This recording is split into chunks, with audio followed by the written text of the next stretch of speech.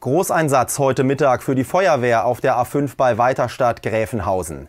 Dort ist aus einem LKW Salzsäure ausgelaufen. Die A5 musste zeitweise in beide Richtungen vollgesperrt werden. Die Polizei sagte mir, dass an einem LKW ein Ventil undicht war, sodass Salzsäure auf die Fahrbahn laufen konnte. Der LKW-Fahrer bemerkte den stechenden Geruch, weil er im Stau stand. Die A5 wurde sicherheitshalber gesperrt und ein Gefahrenbereich eingerichtet. Nur die Feuerwehrspezialisten in ihrer gelben Schutzkleidung durften ganz nah ran. Das Ventil konnte mittlerweile abgedichtet werden, so die Feuerwehr. Der LKW ist auf den nahegelegenen Rastplatz Gräfenhausen gefahren. Es besteht laut Polizei keine Gefahr mehr.